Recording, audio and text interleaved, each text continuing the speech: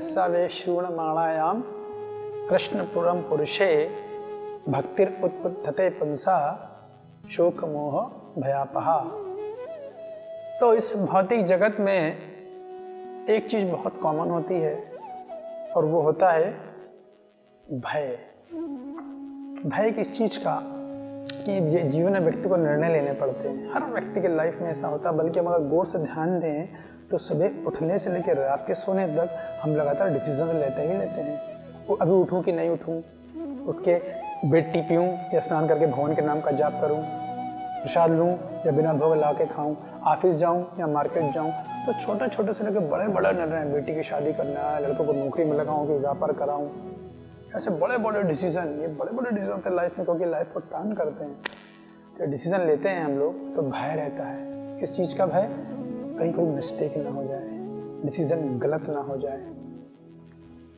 लेकिन यदि कोई भगवान का भक्त है और उसका निर्णय लेने में गलती भी हो गई है तो ये भगवान उसकी मिस्टेक को मास्टर स्ट्रोक में कन्वर्ट कर सकते हैं।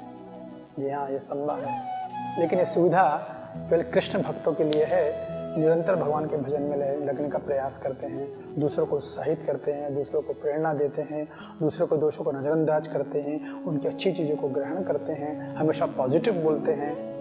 जो भगवत गीता को अपने आचरण से रिफ्लेक्ट करते हैं, वो लोग इस सुविधा के योग्य बन जाते हैं। जैसे हम देखते हैं कि श्रीमद भागवतम में वर्णन आता है, जड़ भरत का। जड़ भरत भगवान के बहुत महान भक्त थे, भक्ति में बहुत अच्छी स्थिति पे थे। एक बार भक्त हमको प्रवचन में बता रहे थे कि भाव भक्ति के स्तर पर आ गए थे। इतना होने के बाद भी उनसे एक मिस्टेक हो गई थी कि हिरण से वो भौतिक स्तर पर आसक्त हो गए थे। और इतना आसक्त हो गए थे, इतने आसक्त हो गए थे कि भगवान के चिंतन के हिरण के चिंतन करते थे कहाँ गया, मेरे बिना जी पाएगा, नहीं जी पाएगा, उसे खाने को कुछ मिलेगा कि नहीं मिलेगा। बिल्कुल अपना साधना, जप करना सब उन्होंने छोड़ दिया था। एक मिस्टेक करी थी। लेकिन देखिए, हुआ क्या? मिस्टेक करने के बाद भी उनको हिरण का शरीर मिला और भगवान की कृपा से हिरण के शरीर में उनको सब कुछ ध्यान था अपने पिछले जन्म के बारे में। और इस बार वो हिरण के शरीर में बहुत सावधान थे कि अब भी कोई गलती नहीं करूँगा। एक बार मिस्टेक कर दी, अब मिस्टेक नहीं करूँगा। तो पूरा भागवतम में वर्णन है उसमें किस तरह हिरणों के समुदाय से अलग रहते थे, जहाँ साधु गुरु रहते थे, जिस आश्रम में वहाँ पर रहते थे, नियमित रूप से भगवान की कथा सुनते थे।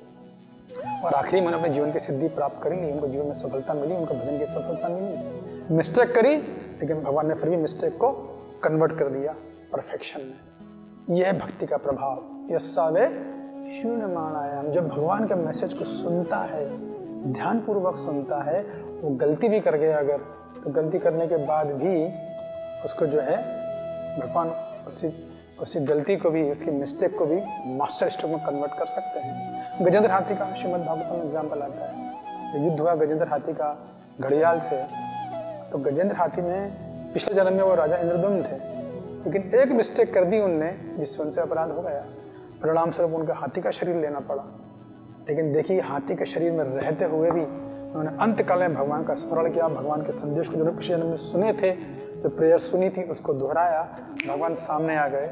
और देखिए उनकी मिस्टेक मास्टर स्टोक में कन्वर्ट हो गई। भगवान के दर्शन करने, जीवन की सिद्धि हो गई उनको। कई एग्ज़ाम्पल है श्रीमद भागवतम में, राजन रक्की भी कहानी है। एक छोटी सी गलती कर गए। गिरगिट का शरीर लेना पड़ा उन्हें। गिरगिट के शरीर में उन्होंने भगवान के दर्शन कर लिए थे, श्रीमद भागवतम में वर्णन है। हालाँकि उनको डेमी गॉड का बॉडी मिली, लेकिन भगवान के दर्शन तो कर लिए थे उन्होंने। इस only Krishna can convert our mistake into master strokes. So we have to have faith on the message of personality of supreme personality of God at Shri Krishna यस्सावे शून्य मानायाम जो भगवान का मैसेज को सुनेगा तो जादू हो सकता है।